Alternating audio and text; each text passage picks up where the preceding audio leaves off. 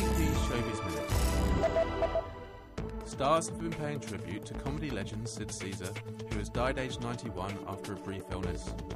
The actor passed away at his Los Angeles home on Wednesday. He is best known for his role in Grease and the 1950s series Your Show of Shows and Caesar's Hour.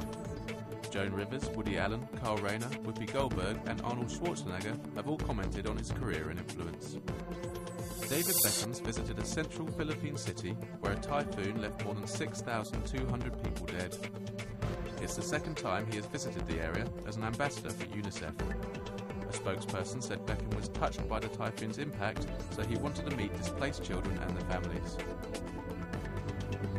Johnny Depp and Amber Heard have provoked further engagement rumours. Heard was sporting a large diamond ring on her left hand as the couple attended the premiere of her new film Three Days to Kill in LA. Neither actors have publicly confirmed the engagement. This is Sid Dixon with AP Showbiz Minute.